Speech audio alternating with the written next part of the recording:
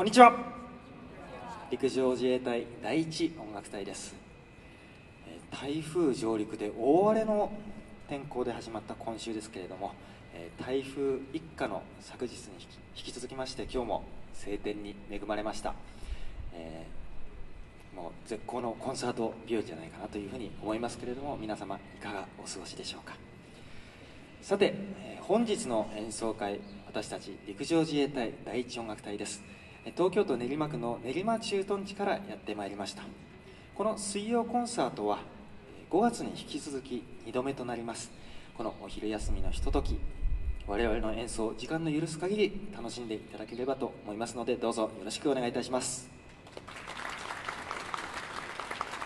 そして本日のコンサート司会進行を務めます私フルートを担当しております三等陸曹杉浦浩一と申します。どうぞよろしくお願いいたします。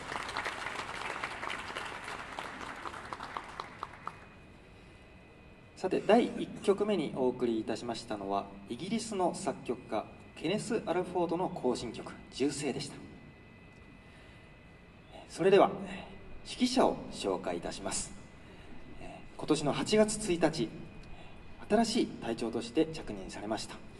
前所属東部方面音楽隊副隊長としてもこの場で指揮を振っておりますのでご覧になった方もいるのではないでしょうか。陸上自衛隊第一音楽隊第23代隊長宍戸隆一等陸尉ですよろしくお願いしま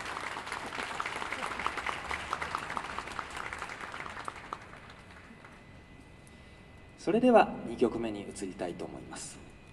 アメリカの作曲家フォスターの作品の数々を取り上げてみたいと思いますアメリカ音楽の父と呼ばれるこのフォスターなんですけれども彼の作品あ懐かしさやらこう親しみやすさそういったものをこう感じる作品が数多く存在いたします、まあ、日本でいうところの童謡唱歌そういったものではないでしょうか。そんな彼の作品の数々メドレーにしてお送りしたいと思います。題しまして「我が心のフォスター」「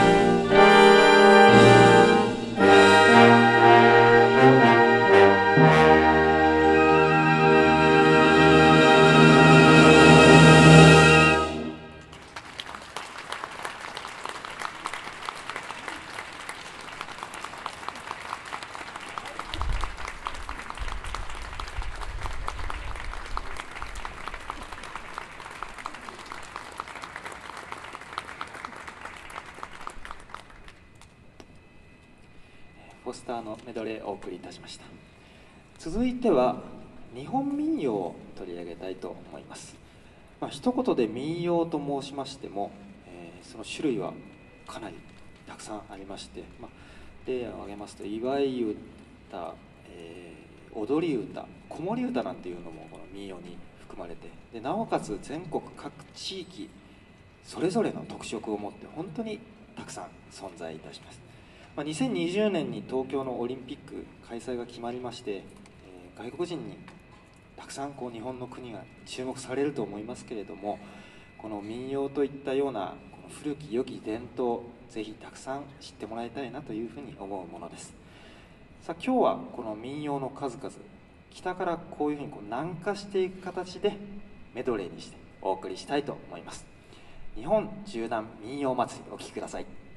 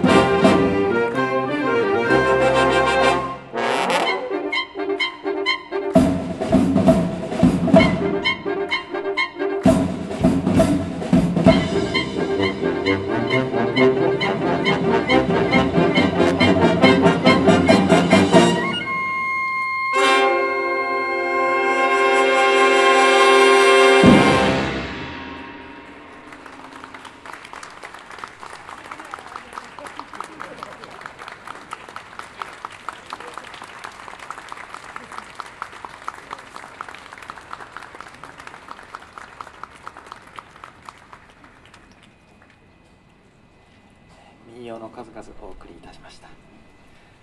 さあ続いてはカーペンターズのナンバー「青春の輝き」をお送りいたします。この曲が発表されたのは1976年です。この当時はあまりヒットはしなかったんですけれども1995年日本のテレビドラマ「未成年」のエンディングテーマで使用されたことをきっかけに世に知られるようになります。同じ年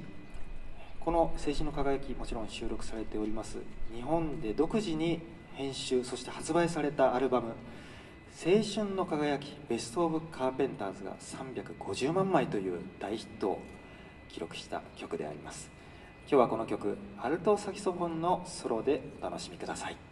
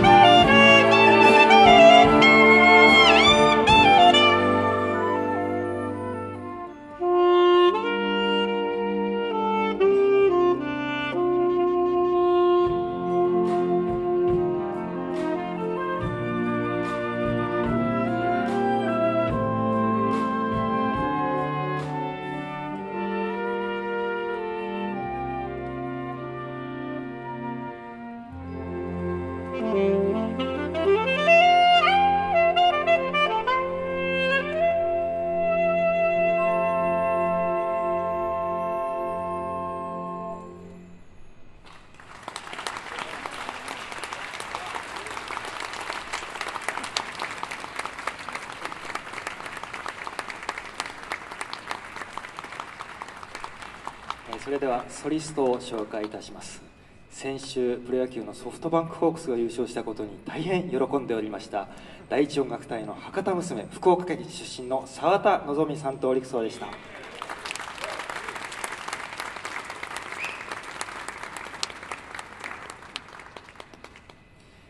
さて早いもので次が最後の曲となりました。最後は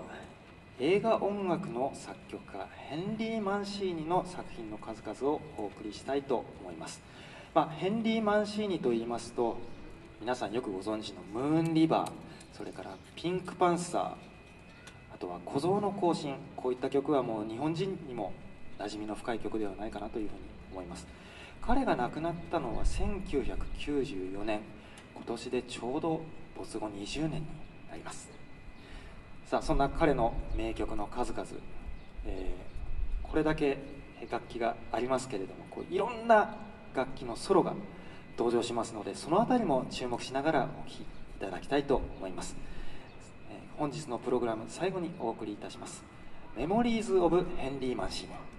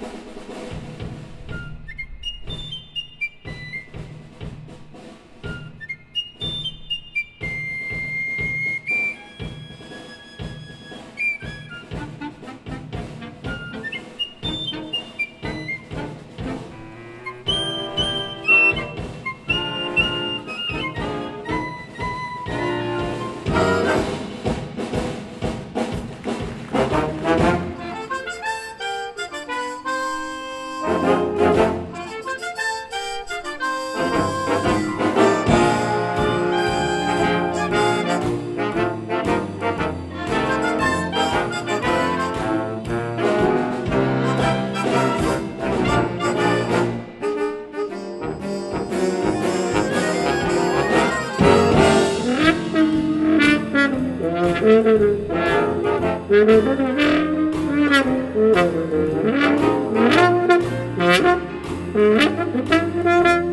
you.